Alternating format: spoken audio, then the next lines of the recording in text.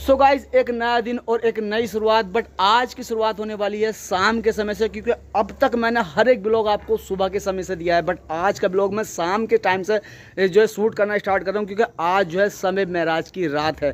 तो अभी आप देख लो तो यहाँ पर भाई सूरज बिल्कुल ही ढल चुका है, शाम का समय और चारों तरफ़ अंधेरा होने वाला है, और मेरा भी फेस जो है बिल्कुल ठीक नहीं आ रहा है। तो आज जो है समय महराज की रात है, और मैं टोटल दिखाऊँगा आपको क्या क्या होता है कैसे कैसे होता है। तो लगभग ईसा का टाइम हो चुका है, और मैं अपने घर पे ये मोमबत्तियाँ का सजा रहा हूँ।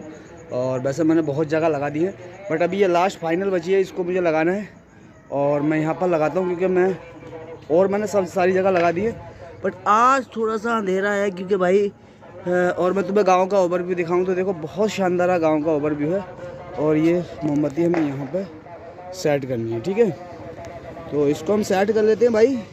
और देखो मैं तुम्हें बैकग्राउंड दिखाऊँ, भाई, अपने गाँव का नज़ारा दिखाऊँ, क्योंकि देखो रात ऐसी है कि आज की रात इतनी इबादत की है कि जो भी इबादत करेगा परवर दिगार की वो बहुत ही खुशहाल रहेगा और पूरे साल का लेखा जेखा होता है आ, कौन लोग मरने वाले हैं किनको क्या मिलेगा इस साल में कुछ को आ, क्या मतलब कौन लोग जाने वाले हैं कोई नुकसान में रहेंगे कोई फ़ायदे में रहेंगे मतलब सारी बातें किसके गुनाह और कौन कितने गुना करेगा अगर आप सच्चे दिल से बात कर लेते हो आज की रात में तो परवर दिगार इन आपकी जो है गुनाह ख़ताओं को माफ़ करेगा।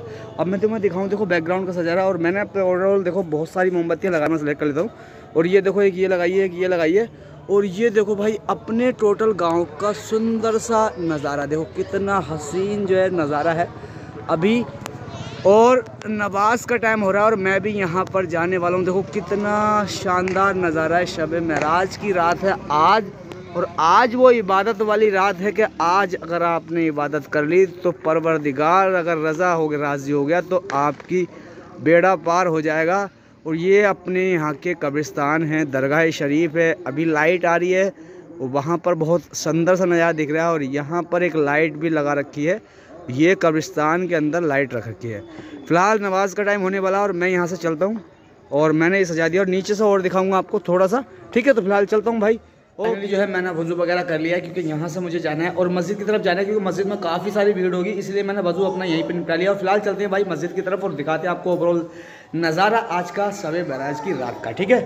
लास्ट देखो तो अभी निकलने वाले भाई घर से बाहर और ये अपना ओपन खोला और भाई ये जो बाहर का नज़ारा है और नवाज़ की तरफ़ चलते हैं। और वैसे अगर अपने घर को देखा जाए तो भाई बहुत स्पेशल जो है व्यू दिखता है अपने यहाँ का और ये देखो भाई, ये देखो, बहुत स्पेशल है। अभी थोड़ा मोमबत्तियाँ थोड़ी डाउन हो गई हैं क्योंकि असल में कैंडल्स तो हैं कैंडल्स कभी कभी डाउन हो जाती हैं क्योंकि भाई जितनी टाइम होता है उसके अंदर, इतनी वो जलती हैं, बाकी डाउन हो गई और ये भाई अपना घर है और देखो कि माशाल्लाह, वैसे परवर दिगार नज़र ना लगे किसी को।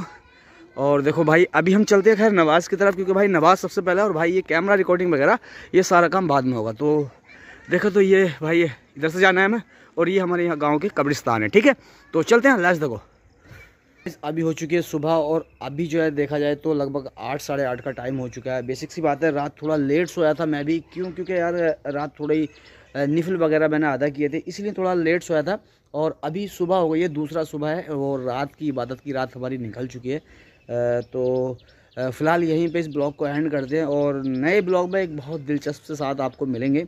फ़िलहाल तब तक के लिए सभी भाइयों को मेरी तरफ़ से अलैक्म